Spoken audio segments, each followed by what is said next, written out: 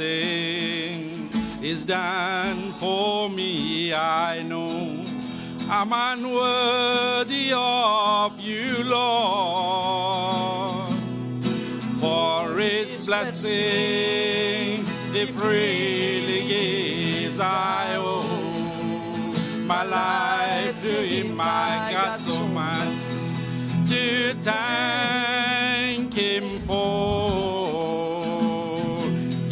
Yes, I've got so much to thank Him for, so much to praise Him for. You see, He has been so good to me. And when I think of what He's done and where He brought me from, I got so much thank Him for. Sometimes while on this way, I need to stop and say thank you, Lord, for all you done for me. one day I'll reach sweet heaven shore. Oh, please let me near once more. I got so much to thank Him for. Yes, I've got so much to thank Him for, so much to praise Him for. You see, He has been so good to me.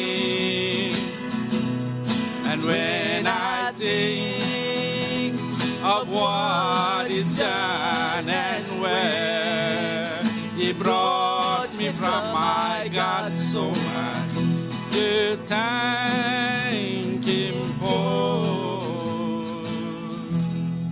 Amen. You may be seated.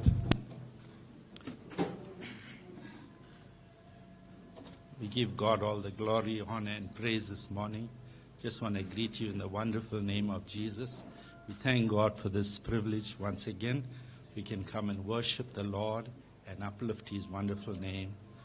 I want to call upon my sister Jackie this morning. She's got a song.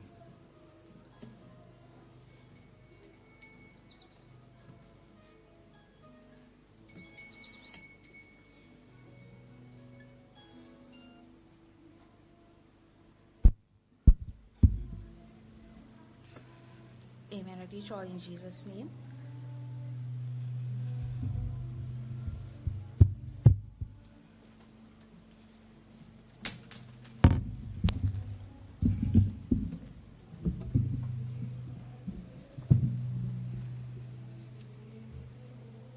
Now it's been some time since I made up my mind to make Jesus the Lord of my life. I faced the fears and shed many tears, but patience has stood by my side. When I hear Satan say, You're not even saved, you're traveling down the wrong track. I recall once again where grace was still sent. Down memory's lane, I take him back. And I'll take him back to the time at an old fashioned meeting where the presence of God filled the air. Where the saints were singing of praise and glory, sweet melody seasoned with prayer. Where one simple sermon from an old fashioned preacher was life to a poor dying saint. I walk him down the aisle to a place at the altar where grace fell, and I know I got saved. Well, I never knew love till it came from above and took its abode in my heart. The sun now shines brighter, my burdens are lighter since Jesus gave me a new start. My songs have been changed, my life rearranged. My journey is now a new path. And when that old accuser tells me I'm a loser, how he lost my soul. And I take him back to the time at an old fashioned meeting where the presence of God filled the air. Where the saints were singing of praise and glory, sweet melody seasoned with prayer. Where one simple sermon from an old fashioned preacher was like life to a poor dying saint. Well, I walk him down the aisle to a place at the altar where grace fell and I know I got saved. Now I never knew love till he came from above and took its abode in my heart. The sun now shines brighter, my burdens are lighter since Jesus gave me a new start. My songs have been changed, my life rearranged. My journey is now a new path. And when that old accuser tells me I'm a loser, I remind him how he lost my soul. And I take him back to the time at an old fashioned meeting when the presence of God filled the air. Where the saints were singing of praise and glory, sweet melodies seasoned with prayer. When one simple sermon from an old fashioned preacher was like life to a poor dying saint. Well, I walk him down the aisle to a place at the altar where grace fell and I know I got saved. When one simple sermon from an old fashioned preacher was like life to a poor dying saint. Well, I walk him down the aisle to a place at the altar where grace fell and I know I got saved.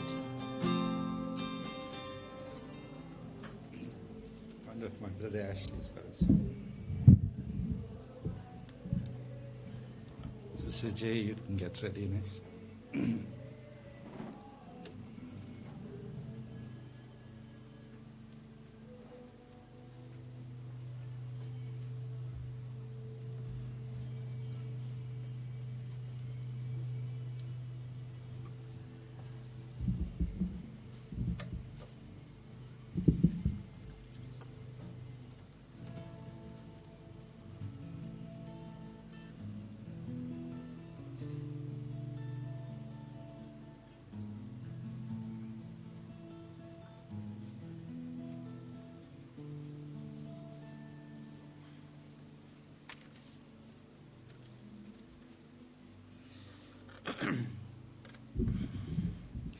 All in the wonderful name of Jesus. For the glory of God, I'll sing a song.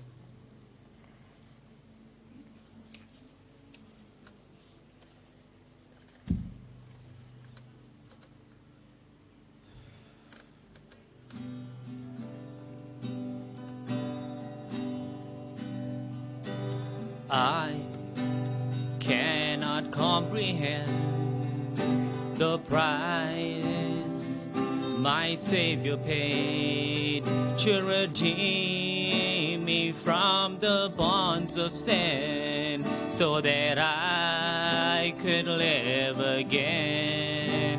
From my mind, I could not erase the cruelty that my Savior faced, just thinking what He's done for me.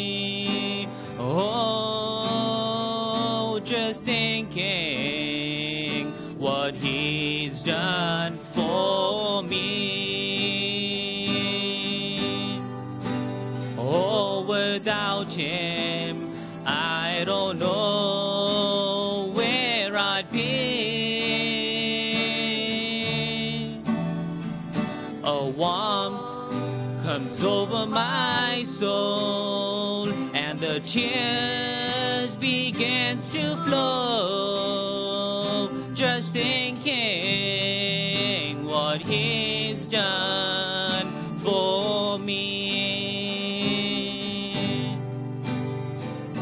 His plans has not ended yet. He said he'd come again. He's gone to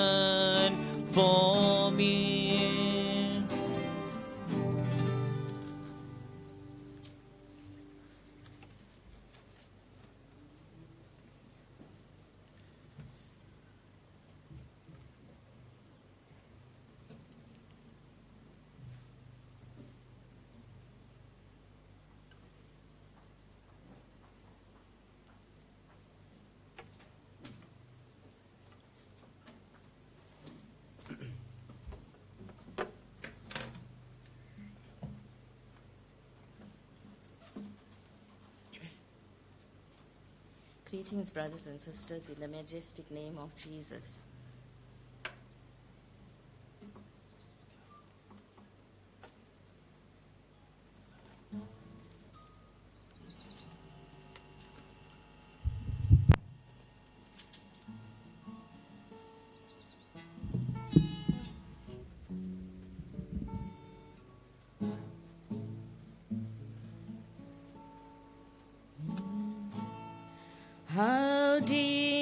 The Father's love for us, how vast beyond all measure, that He should give His only Son to make a wretch His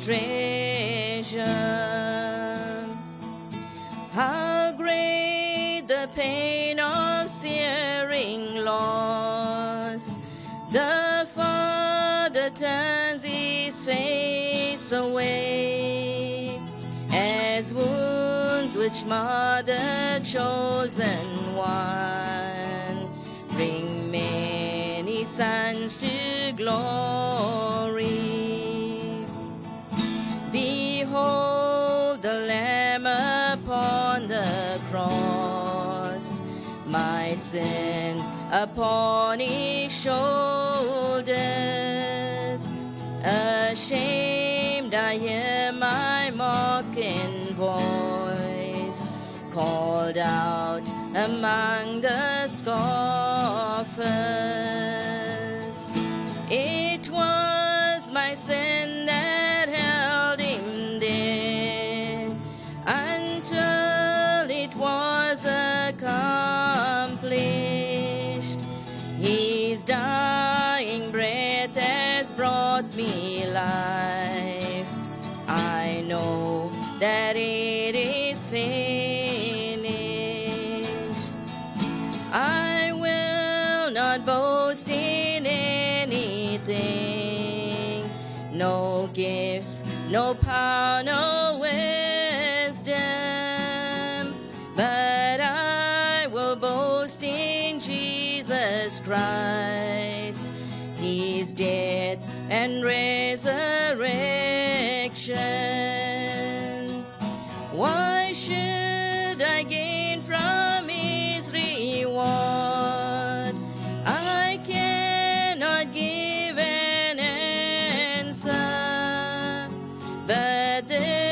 I know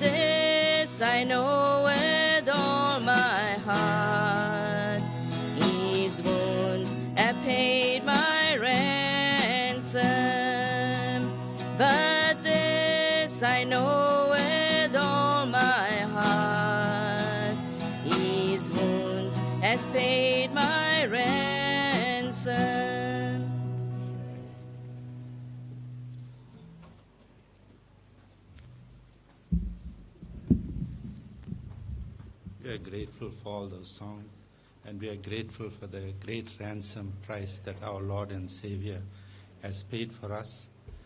Once we were in shame and unbelief, without hope, but God has provided His only Son that today we can be without shame, my brothers and sisters. We can face this world having a hope in our life and a joy in our heart.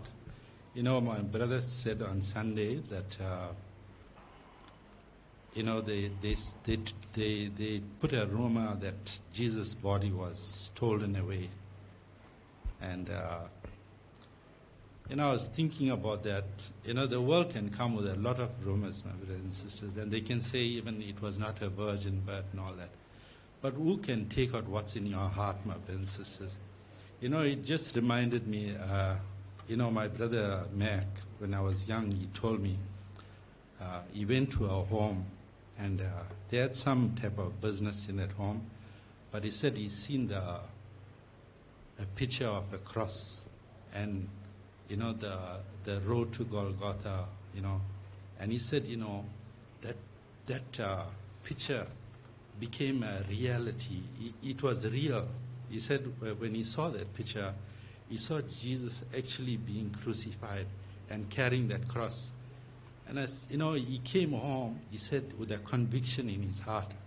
Now, who can rob you out of that, my brothers and sisters? So the world can say what they want to say, but there's something that God placed in our heart that nobody can take away. And we just want to thank God for that. And we want to thank Him for this day. We want to thank Him that we can come into fellowship. We can leave everything aside, my brothers and sisters, in this world. There is so much of entertainment out in this world. But, uh, you know, I thank God that He placed that thing in our heart to be found in the house of God. I just want to bless Him. Shall we stand this morning?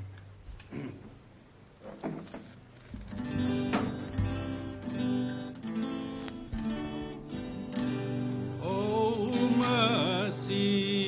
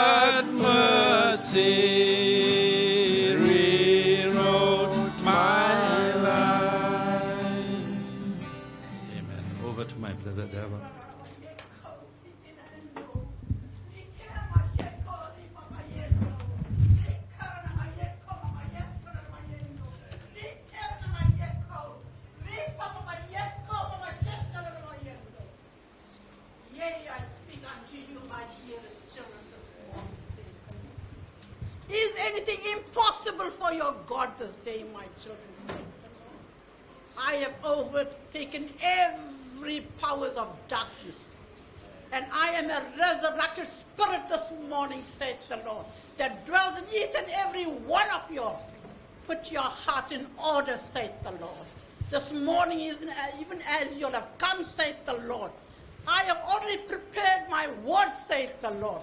I have even prepared my shepherd of the hour, saith the Lord, that is watch, saith the Lord. And the stand that you are taking this morning, saith the Lord. No matter what crisis comes on your pathway, saith the Lord, put me first in order for this time and season. It is a dark hour, saith the Lord. Everybody is doing their own things, saith the Lord. Men becoming pleasers of their own flesh, saith the Lord. I, the living God, saith the Lord. Beginning of wisdom, saith the Lord. Reverence, saith the Lord. I need honor, saith the Lord. Indeed, the price that has been paid, saith the Lord, was not easy, saith the Lord. But because I have found it fit beyond the cross that your names can be written in the Lamb's book of life, engraved by my blood, saith the Lord and thy God. Over to my brother Deva.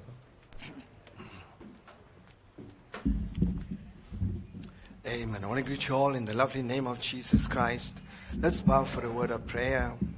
Heavenly Father, Lord, we come into your divine presence this morning, my God.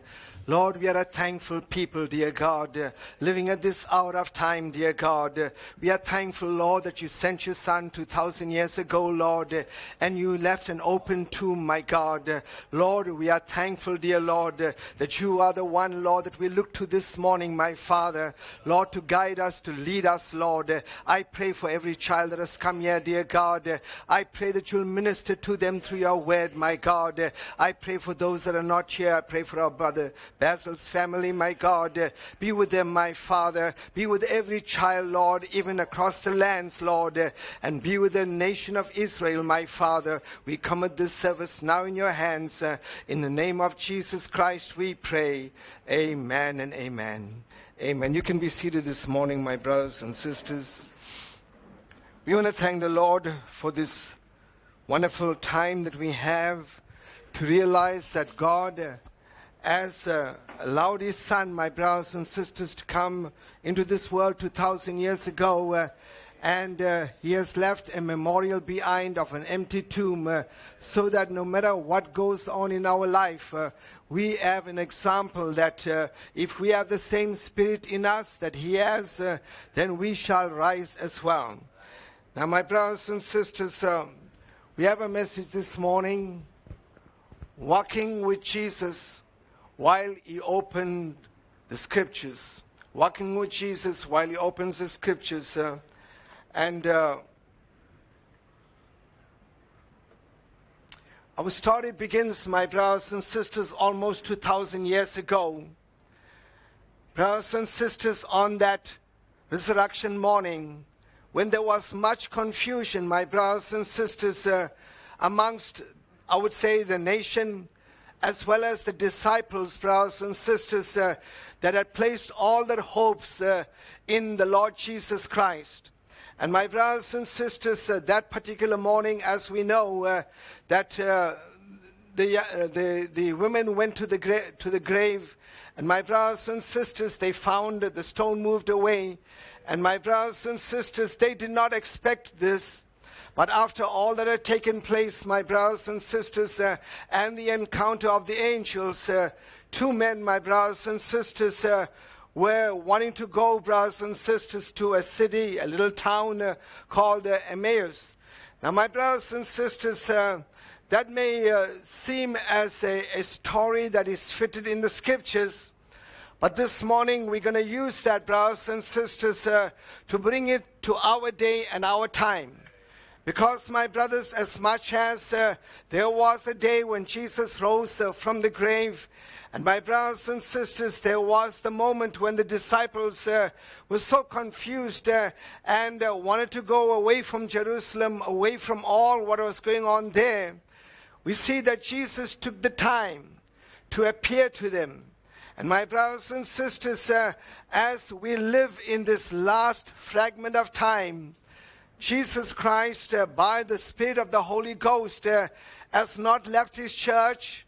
He is still with us and he still walks with us. So, my brothers and sisters, the Bible says, uh, And behold, two of them went that same day to a village called Emmaus. Brothers and sisters, uh, this was a little town some uh, 15 uh, kilometers away from Jerusalem were all I would say uh, the occurrences that happened from the Friday to Sunday was just being noised abroad. And it says, which was from Jerusalem about three score furlongs, that's about 15 kilometers. The Bible says, uh, and Jesus appeared on the road to Emmaus. Brothers and sisters, uh, these two men, as they were journeying, brothers and sisters, uh, they didn't want any other company because they were so troubled. Brothers and sisters, uh, the man that they placed all their hope in, as uh, died, they probably were there to see him die. And now, uh, with the different conflicting statements uh, from brothers and sisters, those that went to the tomb uh, and all that, their minds couldn't take it. Uh, and they decided, well, let's just go back. Probably that's where they stayed. And uh, they never expected that a figure will come uh, and join that conversation. Now, my brothers and sisters, we are living at this time though all that is going on in this world, and a lot, uh, and I, I, don't have time to go to too much of what's happening, but we will talk about it. But, brothers and sisters, uh, remember, God uh, doesn't uh, live high up there and He leaves us down here. He knows everything that is happening, every thought we are thinking, and my brothers and sisters, He can join our conversation at any time. And He's the only one that has all the answers uh, to all our questions. So we see uh, that Jesus appeared to them. Now, my brothers and sisters, to bring it to our day, we realize the crucifixion took place some 2,000 years ago. A lot of things have happened in the past seven church ages, brothers and sisters. And in each of these church ages, Jesus uh, had not left his people. He has been walking in the midst of the church ages. And now we are living in this Laodicean church age. And the things that are occurring today, the world doesn't know, uh, brothers, uh, anything about what has happened yet because uh, they have uh, closed the door to revelation. They've closed their minds uh, to what God has revealed at this hour of time. Brothers and sisters, the, the denominational world, uh, they know they will all go to church today. Uh, and brothers and sisters, and maybe tomorrow uh, they'll have uh, Easter bunnies and all of that. And I, I got nothing against that. I, I, I like uh, the, the bunnies, but there's no revelation behind it. There's nothing to tickle your heart. There's nothing to set your soul on fire. Brothers and sisters, uh, it's one thing to walk in tradition, and it's another thing to have your soul uh, on fire for the Word of God. And it's going to take the Word of God uh, to fire your soul. And my brothers, you cannot close your eyes and your ears uh, to what God has revealed at this hour of time. And Jesus, uh, brothers and sisters, uh, has said, uh, If any man serve me, let him follow me. And where I am, there shall also my servant be. Brothers and sisters, uh, Jesus is in heaven. How could he say that? It's not physically we are with him, it's revelatory picture in our mind, what he has in his mind. So, brothers and sisters, in this Laodicean church age, God allowed uh, truth to be unraveled to us. We are living in 2023. And my brothers and sisters, we cannot live uh, with the dark ages truth. We cannot live with the Pentecostal truth or what happened 50 years ago. We have to uh, allow God to upgrade our soul.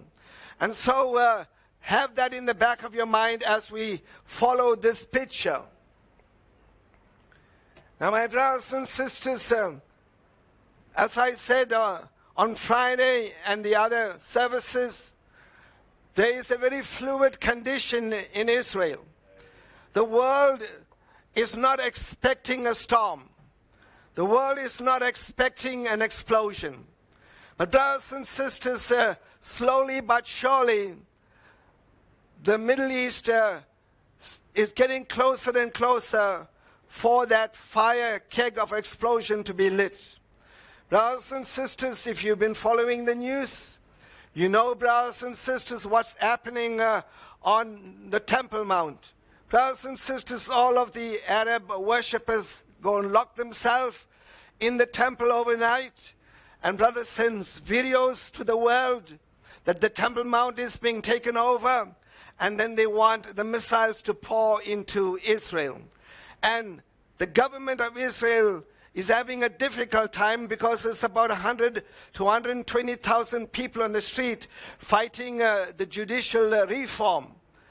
And uh, the defense minister, brothers and sisters, as well as uh, the prime minister, are not on the best of terms. So the world at large, uh, especially the Arab world, knows that Israel is at its weakest point. It was the similar way in 1967. And my brothers and sisters, uh, but what we have to see, brothers and sisters, uh, Iran is an octopus. Uh, you know what an octopus is? It has uh, many tentacles. It does not do the dirty work. It allows its puppets, nations, to do the dirty work. Israel is a very tiny nation, my brothers and sisters. And, uh, and they are facing now the, the tentacles of Iran. And brothers and sisters, uh, all these nations like Syria and Lebanon, Iran and Jordan and Saudi Arabia, for a long time, they've stayed out of the picture. Brothers and sisters, but you know how on Thursday or Friday those uh, missiles uh, came into from Lebanon, and from brothers and sisters, uh, Hamas sent the missiles, and uh, we see now that this is the Middle East map. Brothers and sisters, yes, Yemen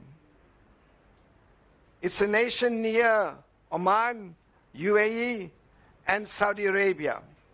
Brothers and sisters, all the while, Yemen, the Houthis from Yemen, they were sending their missiles to Saudi Arabia. They were fighting with Saudi Arabia. But because Iran told them, hold on, hold it, because they supply the weapons to Yemen. Now, my brothers, they've got nothing to do. They bought. And they say, we want to take the Palestinian cause. And my brothers and sisters, all the way from here, they want to send brothers and sisters their drones uh, to Israel. And my brothers and sisters, uh, that now turns the picture in the Middle East uh, on a different level altogether. And last night, brothers and sisters uh, from Syria, Syria, brothers and sisters, you know the story of Syria. And they, I would say, have the cheek to send six rockets uh, into uh, Israel.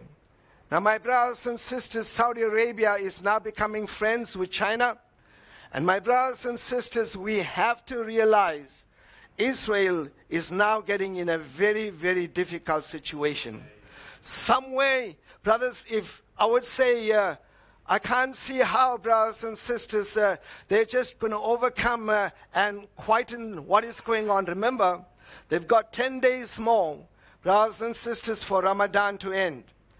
And it's in this atmosphere they always try to create a problem. I'm not saying the era of the miraculous uh, will, will, will ensue out of this. We have to watch this.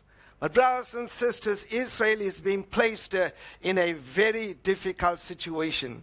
Because when you got Yemen here, that the Houthis, brothers, uh, they have no kindness in heart. And my brothers and sisters, uh, Iran supplies all what she needs. She stays out of the war. But brothers and sisters, uh, whether I would say Israel would want to eat Iraq, uh, uh, I would say uh, Iran and the nuclear facilities at this time, uh, well, time will tell that story. So at this moment of time, the world, brothers, is fast asleep. They don't see what is the picture. They don't see how this is building up. And my brothers and sisters, that is why I have to say, when 2,000 years ago, Jesus was talking to his disciples all the time. Brothers and sisters, they were interested uh, in the fishes. They were interested in the loaves. They were interested in all the things that were going on. But nearly every week or every period of time, he told them the Son of Man must be crucified. He told them the Son of Man will be taken by Gentiles and, and they will kill him. But, brothers and sisters, the Bible says uh, the disciples uh, didn't know it. You read the Word of God, uh, they didn't understand that, at all, if they didn't want to hear that. Brothers and sisters, uh, similarly today, people take only certain passages of Scripture, and the rest, uh, brothers, they leave it aside. So we see, brothers and sisters, Jesus no doubt has spoken to us about this that is going on by the Holy Spirit. So we see Jesus joins the two men to Emmaus. And my brothers and sisters, I don't have the full story here, but you can go home and read it. And it says, And they talked together of all these things which had happened. Brothers and sisters, a lot has happened in that three days. And uh, you got 15 uh, kilometers and they were talking about everything that had happened. And uh, came to pass that while they communed together and reasoned, every now and then they stopped. They argued and they said, No, this couldn't be. In, brothers, remember, they loved Jesus Christ. And what they saw happen on the cross, it was hard for them to believe because they didn't believe that there was going to be such a thing. And the resurrection also was, an, was something that was too far fetched for their mind. So they talked and they reasoned. Jesus himself drew near and went, went with them. Brothers and sisters, the Holy Spirit does not leave us. How many times we talk? And at that precise time as you talk, brothers and sisters, either somebody phones uh, and they're talking the same thing that you was thinking. The Holy Spirit knows that. And my brothers and sisters, uh, because uh, Jesus Christ, he could have went anywhere else. But he knew that these two men, they had reached rock bottom. Brothers and sisters, and they needed uh, something uh, to uplift them. And we will see, Jesus didn't say, now, uh, you know, uh, let me perform a miracle uh, so that you can you know, just be uplifted. Jesus didn't do that. There is a place for that.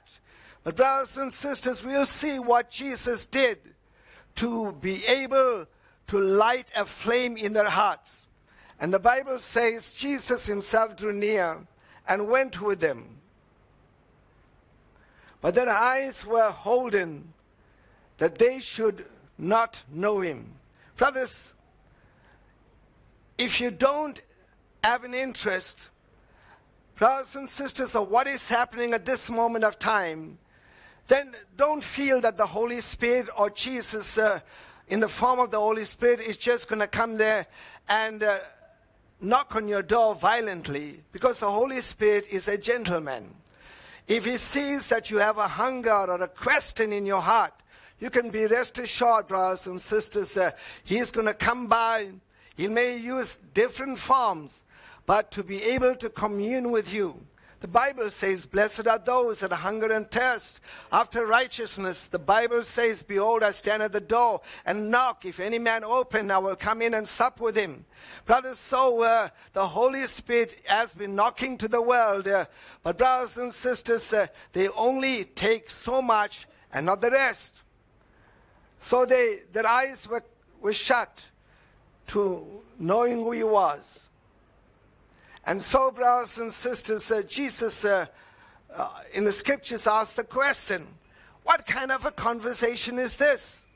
You'll walk, you'll talk, and you'll are sad. And my brothers and sisters, uh, he, he, he, probably spoke it to them uh, in a way uh, to just uh, make them feel uh, this is just not on.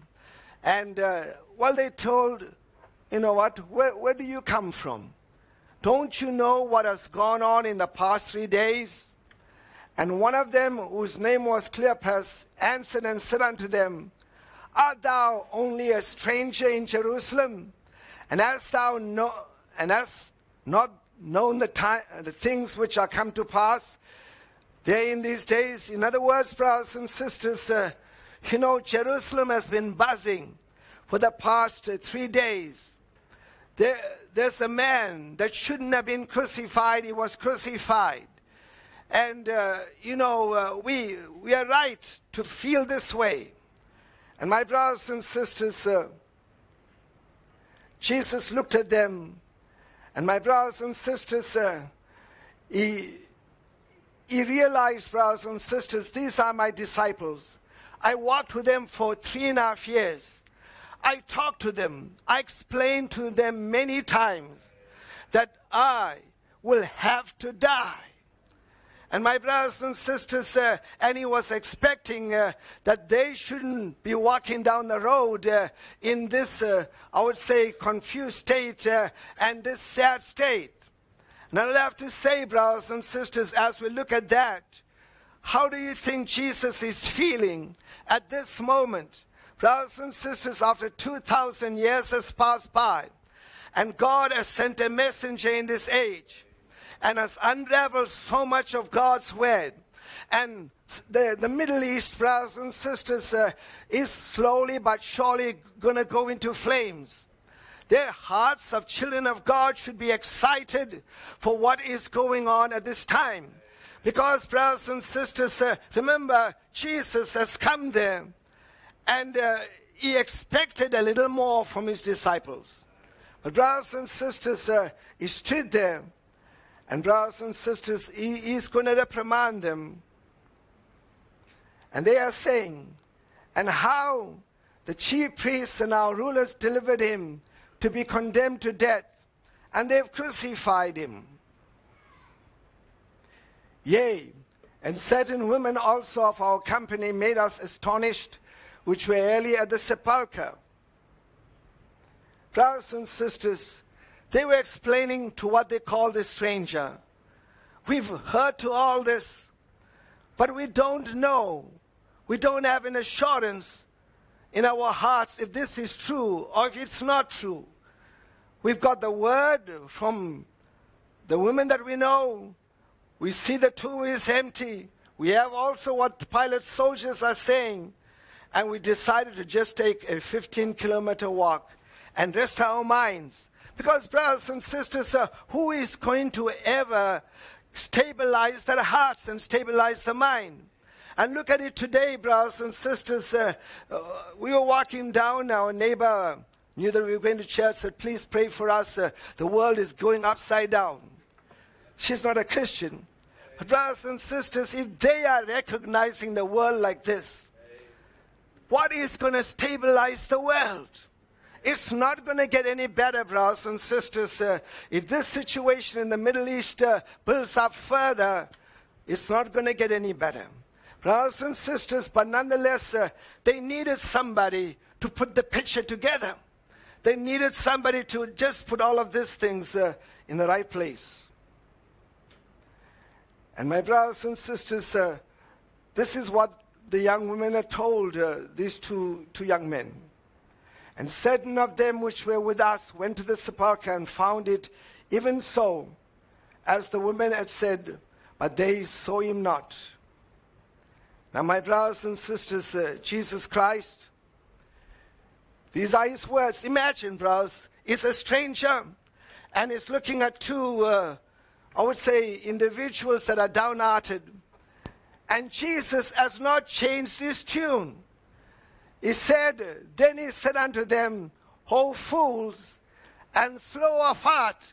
Brothers, how can Jesus, the loving Savior, the caring Savior, the one that is full of compassion, who's supposed at this moment, uh, brothers, be there to, uh, you know, say the most soothing words.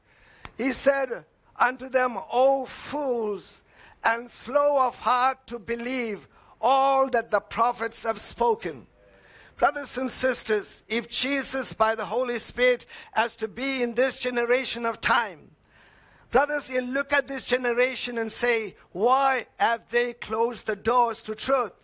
How come uh, they have allowed themselves to come into the state? Because, uh, brothers, uh, these are the directive where Jesus has not lost his composure. And he knows for three and a half years uh, he has ministered to these disciples. Brothers and sisters, somehow they did not catch the picture as he expected them to. He said, Ought not Christ to have suffered these things and to enter into his glory? Brothers and sisters, in other words, uh, Jesus cannot go into glory unless this was done. And my brothers and sisters, uh, we are living at this hour of time, and uh, we have to understand there are certain things God uh, wants us to understand about what is going on in this world. He said, Ought not Christ to have suffered these things and to enter into this glory? Brothers and sisters, if the church world this morning had hearkened to what God has opened up in this hour of time, they would not, brothers and sisters, uh, be with the masses of the world that will be saying uh, that Israel uh, should just allow the Palestinians to do what they are doing. And, brothers and sisters, open up uh, everything for everybody. They don't know the book, they don't know what the Word of God has said. Brothers and sisters, uh, this is uh, past tense in the sense that Jesus has already come. He paid the price. There's an open tomb. And, uh, brothers, that's our perverted scripture to believe in the resurrection. But from there, we've got to understand uh, what about our day and our time? Brothers and sisters, uh, so Jesus says, ought Christ not to have suffered these things and then enter into his glory? Plus, Jesus uh, knew he had a 15 kilometer stretch. Brothers and sisters, a lot of things that transpired uh, for three days. He's got a lot of stories to talk about. Brothers and sisters, that are unexplained details. Nobody yet knows what happened down in the corridors of hell. Nobody knows, brothers and sisters, uh, how uh, all the saints, brothers and sisters, uh, from Adam uh, right to the thief on the cross, uh, has been resurrected, uh, and they're in Jerusalem. And my brothers, there's so much of exciting news for him to talk about. But he still has the time for two men who need an understanding of the scriptures. Brothers and sisters, he could have boasted, uh, you know, I took the keys uh, out of Satan's hands. Uh, you know, I brought all the saints out. Uh, but that, that was for another time. Here were individuals that needed their minds to be straightened out. And my brothers and sisters, and beginning at Moses, brothers, I can see him going to Exodus, Deuteronomy, Numbers, uh, taking everything. Brothers, the lamb slayed, uh, the blood placed upon uh, the doorpost. Uh, brothers, uh, everything you read in scripture, he began to place it to them. Said, don't you know? All this was written, was written. Uh, why did you eat the lamb, brothers and sisters, with bitter herbs? The bitter herbs symbolized my suffering. You just can't eat the, the, the, the, lamb and forget about the bitter herbs. So he began at Moses, and he didn't forget all the prophets. Brothers, uh, he spoke Isaiah 53, what we read uh, on Friday. All the prophets. He expounded. This word expounded is not he just read the scriptures. He expounded the scriptures. He took the scripture and he gave the understanding of it unto them in all the scriptures the things concerning himself. Brothers, he wasn't talking Christmas stories. He was talking things relevant for his hour and his day. Walking with Jesus as he opens the scriptures, not for another day, but for your day and your time.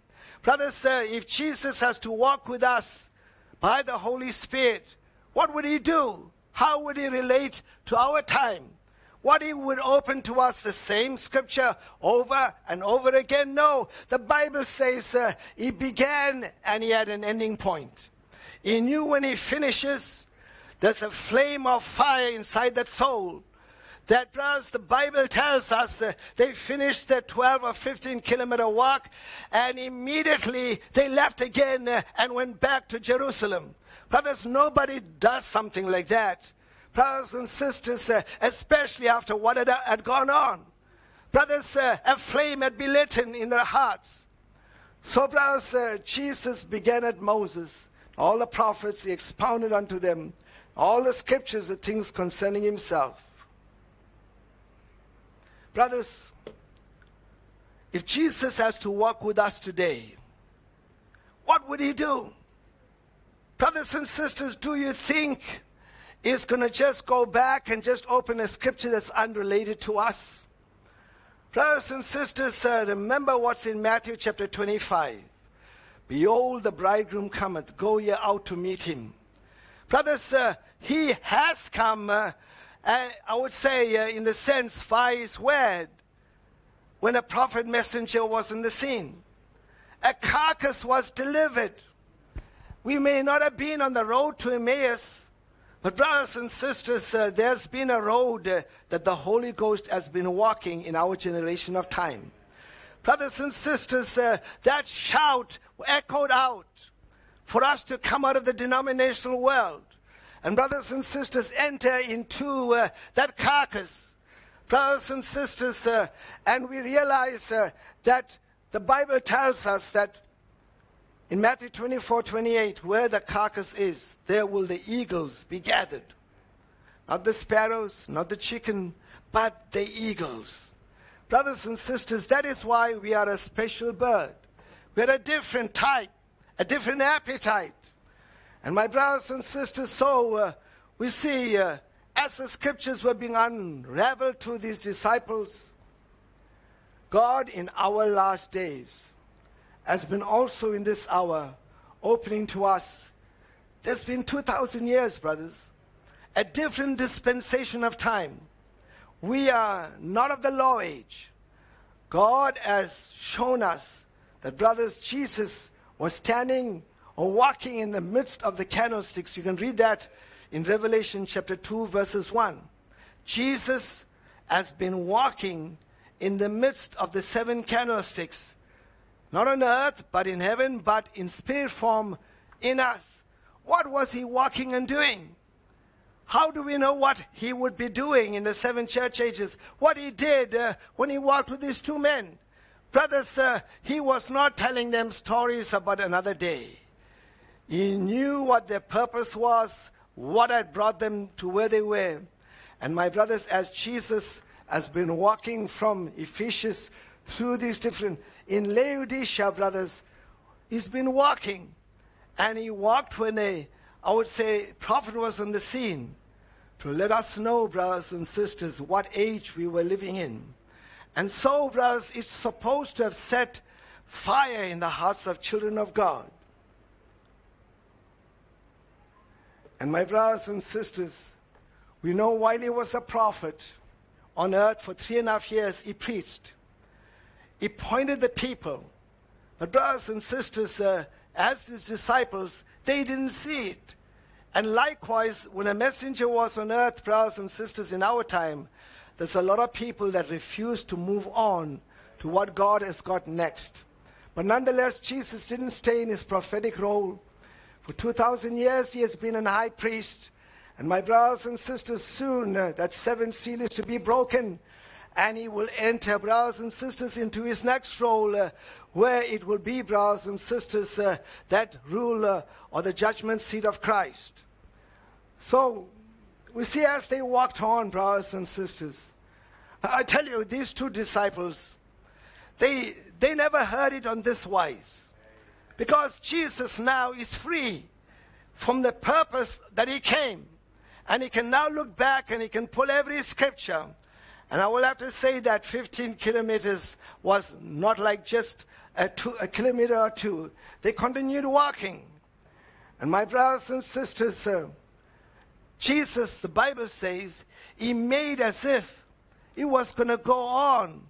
Their, their house had come, uh, and my brothers and sisters, why someone would think that Jesus was a somber man, you know, but you know, he throughout the scriptures we see that the Spirit of God acts that way.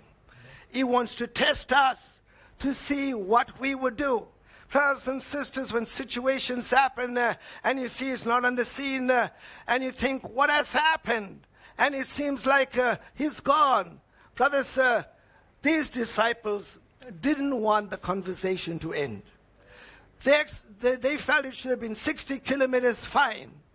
And Jesus made us if, well, okay, bye now, I've got to go. Brothers, the Bible says, but they constrained him, saying, Abide with us. Brothers, look at this out of time. When the revelatory spirit from Brother Branham's day to Brother Jackson's day to our day, it's the same cord of revelation. If you have been stimulated by that spirit of revelation, and as it's been moving, and you're now in the third watch, Shouldn't you being say to the Spirit of God, uh, abide with us? Brothers, continue with that flow. Abide with us, for it is towards evening time. Brothers, we'll want the Holy Spirit to remain with us because time is running out. And the day is far spent. Brothers, Paul picked up these words. The night is far spent. The day is far spent. And brothers, Jesus says, and he went in to tarry with them. What a gentleman. The Holy Spirit, when you constrain him, he will come and dwell with you. And brothers and sisters, uh, he is there, as the Bible says, to sup with you concerning his word. Brothers, the day is far spent. The world will say, well, we don't know. Jesus can come a hundred years from now. Brothers and sisters, we are not setting any date for the coming of Jesus. But neither are we to put the scriptures away. If the Holy Ghost was here, like Jesus was on the road to Damas, uh, Emmaus, brothers and sisters, uh, he could tell us, oh fools of heart, why didn't you believe all that the prophets said? We say, well, we believed Isaiah 53. We believed what this. He'll say, well, what about Isaiah 6, 1 and 2? After two days, I am going to restore or revive Israel. Couldn't you be able to see there were seven church ages? And couldn't you see how 2,000 prophetic years are coming to a close? Brothers and sisters, you know, God didn't only help us by telling us the seven church ages through Brother Branham's ministry. Brothers and sisters, He also showed us through the scriptures that there is a way to work the timeline out. brothers and sisters, uh, of how 2000 prophetic years uh, finishes off from the time the first church age started to the time, brothers and sisters, 2000 prophetic years. Brothers and sisters, around 2028, 27, 2000 prophetic years will be drawing to a close. Now, you don't go by a calculation or, or a date and a time. You watch the events that are on ground. Brothers and sisters, if Israel uh, is exploding, then somewhere you, ha- you have to realize and recognize the day and time you live in. That's why Jesus could tell them, brothers and sisters, the night is far spent. Brothers and sisters, uh, recognize uh, your time that you live in. Because uh, it's pointless, as some say. We'll wait to the beginning of the 70th week of Daniel, you know, when the Ezekiel 38 and 39 transpires. Then we'll look backward and we can work out when the two days started. Brothers, a baby class child can do that. After it's over, who can tell you, brother, who can't tell you when, what was your birthday? Brothers and sisters, uh, that's not a Holy Ghost inspirational thought. We have to allow the Spirit of God to search the scriptures. And my brothers and sisters, don't run ahead of the scriptures, but walk with the scriptures. And my brothers and sisters uh, will say, well, why is it so important? Brothers, uh, God gave uh, the early uh, the Jews a menorah to place uh, in the tabernacle, seven branches of the candlestick. To a Jew, number seven is not an important number as number 12. 12 is their number. Seven is the Gentiles' number. Seven church ages, uh, seven stars, seven seals. Uh, plus, that's Gentile time. So, what is uh, a menorah of a seven candlestick doing uh, in uh, the midst of the tabernacle? It was to show that God uh, had the Gentiles in mind as well, and also that there were going to be seven church ages. And he told Hosea, brothers and sisters, after two days, but he didn't tell Hosea after the seven church ages will draw to an end. Brothers and sisters, because John on the Isle of Patmos would be given that inspiration. But he told Joshua, I wanted to go seven times round Jericho. And the seventh day, you go seven times. It was to tie, brothers and sisters, that God will restore his truths to the church ages. And by the time we draw into that period of time, there'll be a war in the Middle East. Brothers and sisters, as Joshua fought and shouted, and the walls of Jericho came down, Michael will come into Israel, and all that is going on, brothers and sisters, uh, will be quelled uh, by the same angel that was with Joshua. So, brothers and sisters, God uh, told uh, them that. Now, my brothers, Jesus comes in. It says, and it came to pass as he sat at meat with them.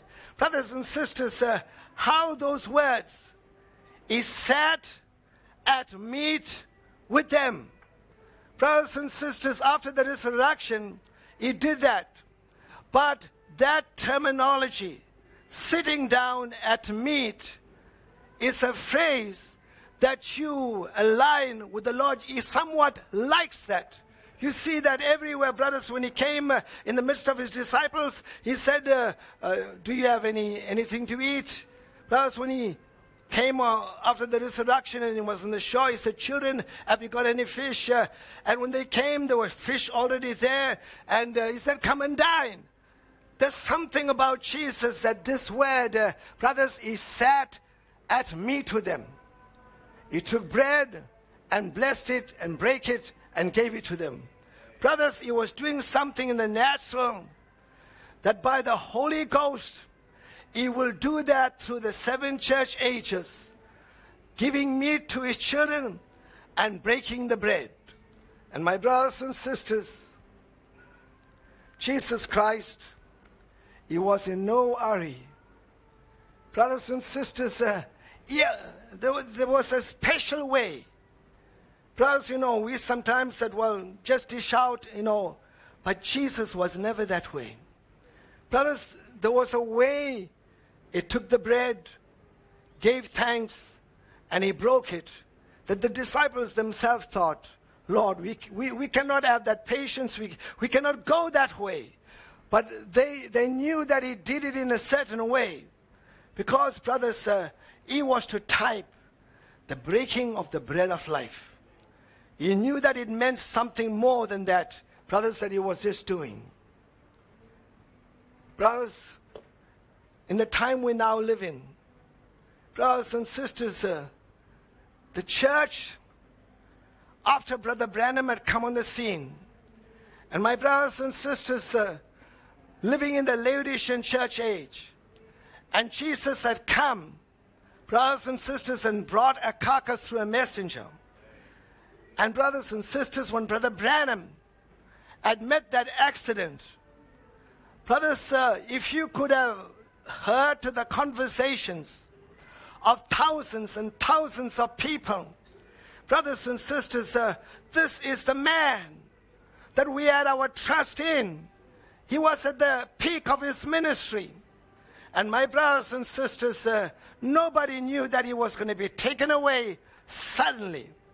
But contained in the scriptures were scriptures for our day that, brothers, God intended to be opened so that they would have understood uh, that it did not end every, everything with just with Brother Branham. He had his purpose and he had his plan, and the revelatory spirit would continue. So that is why we see in Luke chapter 12, verses 37, Jesus said this before the crucifixion. He said, Blessed are those servants whom the Lord, when he cometh, brothers and sisters, uh, not when he comes uh, in the rapture or comes uh, for the second coming of Christ in the millennium. No, when down here on earth, God would have had servants, starting with Brother Branham, and I would say food would be delivered. God says, Blessed are those servants whom the Lord, when he cometh, shall find watching. In other words, God, Jesus expected his disciples to have watched after three days, I'm going to rise. But somehow it was blank to them. The end time ministry and the end time church and individuals, they were supposed to be watching this hour. Because soon, brothers and sisters, uh, when that explosion starts in the Middle East, you're not going to have time to then say, what does Luke 12 37 mean? Brothers and sisters, you've got to realize it's not going to be small.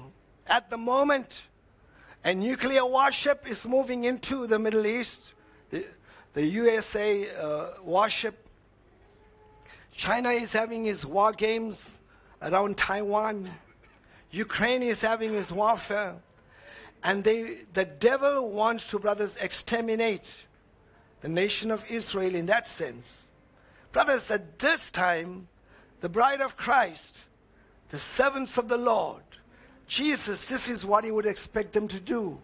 When he cometh, when he comes with what? He's coming for a fresh opening of his word. Verily I say unto you, that he shall gird himself and make them to sit down to meat and will come forth and serve them. Brothers, when we were seated in denominationalism, brothers and sisters, that eagle cry called us out and said, Come and sit down. What a one day it was to know, brothers, that the systems uh, were not the true churches, they were lodges. Come, brothers and sisters, and he opened uh, the truths in the book of Genesis and Revelation.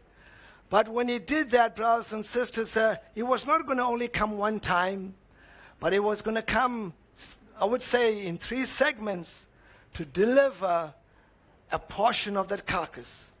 And my brothers and sisters, and if he shall come in the second watch, or he come in the third watch, and find them so, blessed are those servants. In other words, the church of the living God and the servants in all the last three watches of our time, they cannot be caught sleeping.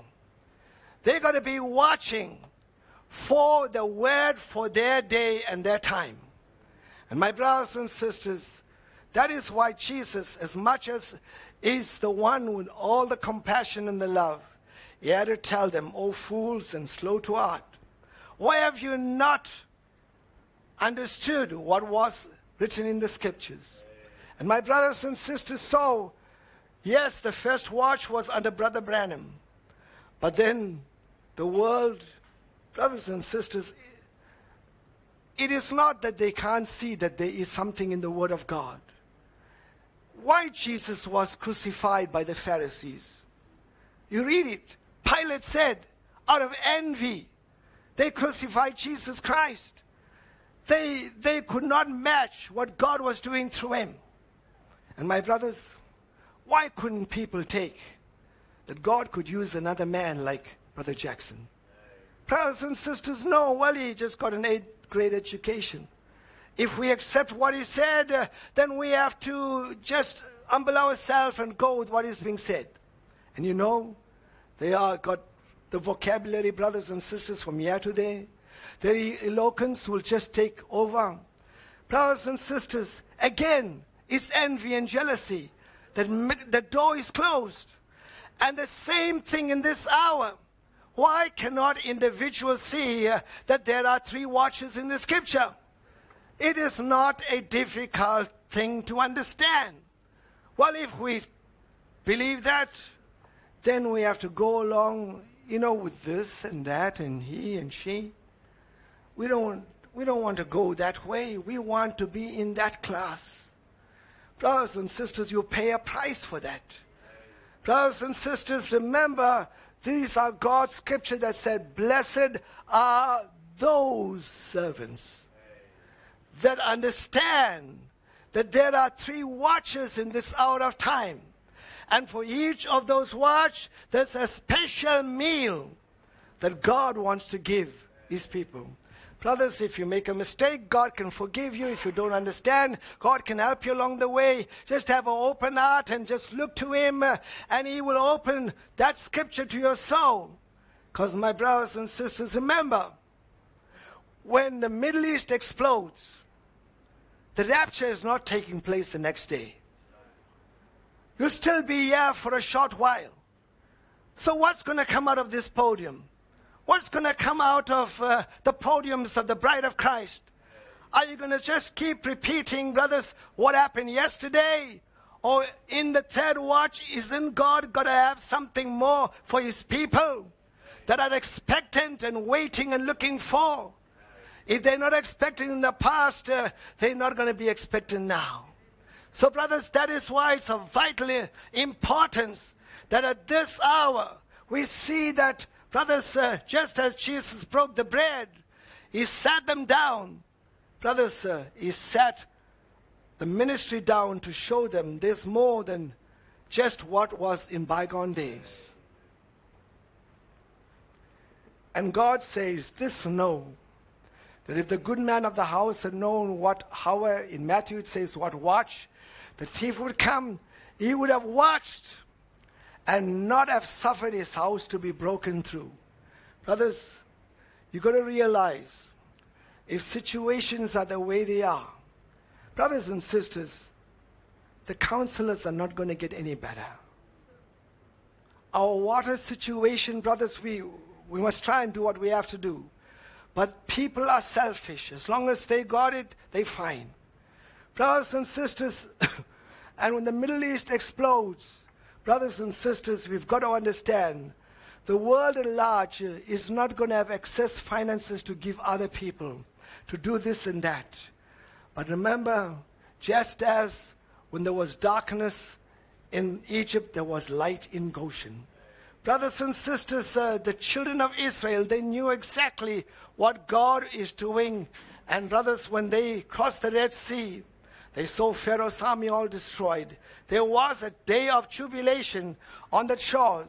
And it says here that if we had known in what watch, brothers and sisters, in this Laodicean church age, we are to know that there was more than the coming of Elijah in Malachi 4:5.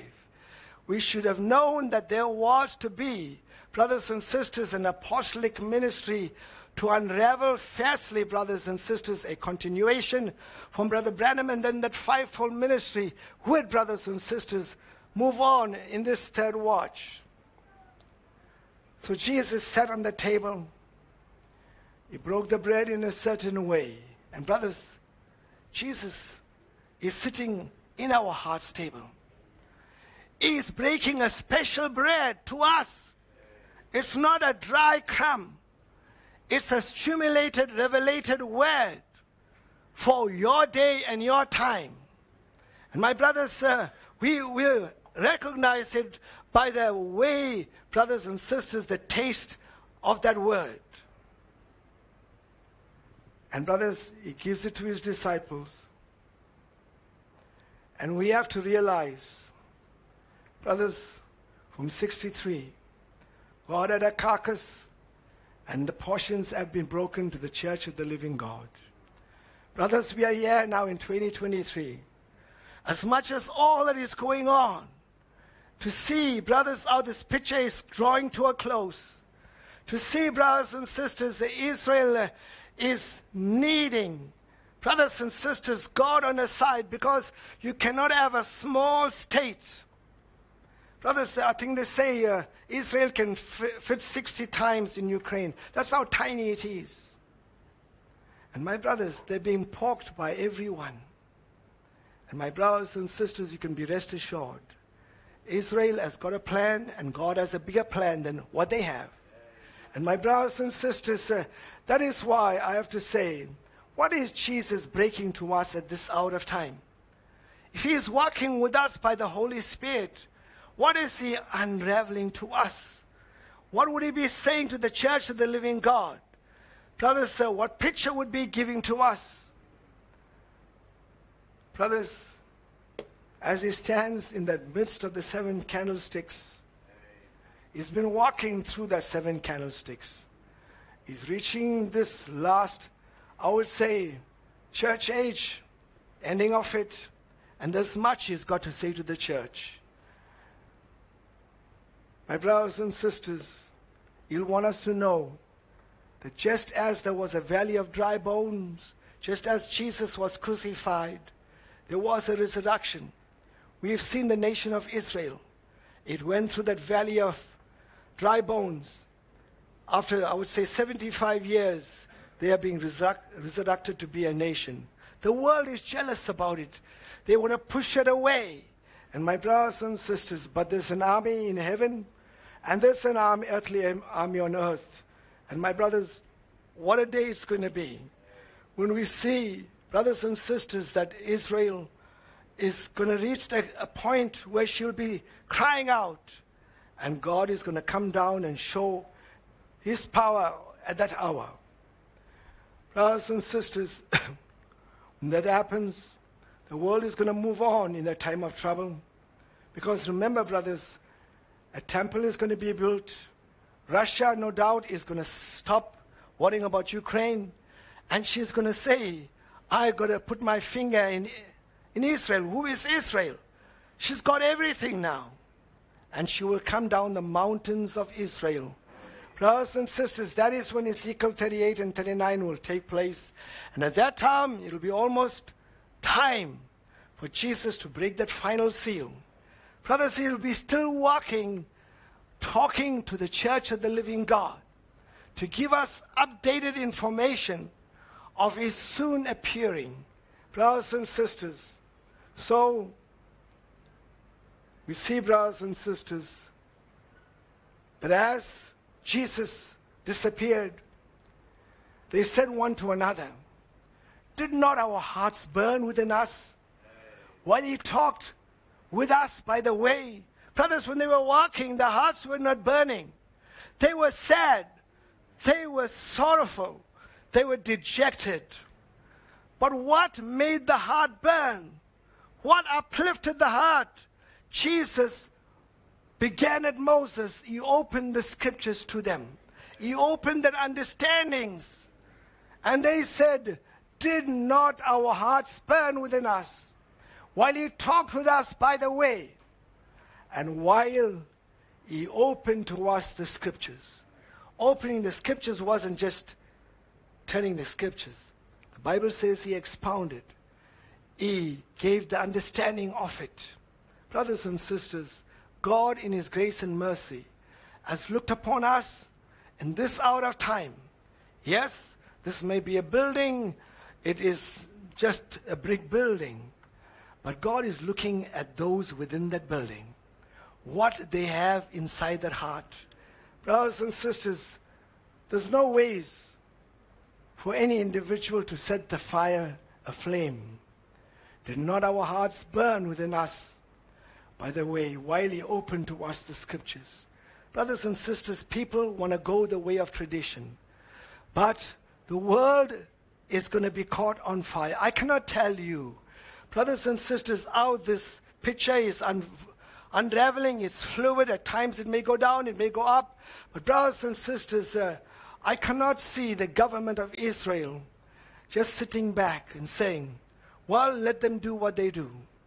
When you got the Houthis in the making, and you got the tentacles of Iran everywhere, and you got Syria who had all the problems for the past 13, 14 years, wanting to send missiles, and Lebanon, and Hamas, and brothers, the, the rest locking themselves in the, the mosque. Brothers, what do they want? They don't want Israel in Israel. They want it out. And my brothers and sisters, that is why I have to say, God is going to put on display the little nation of Israel.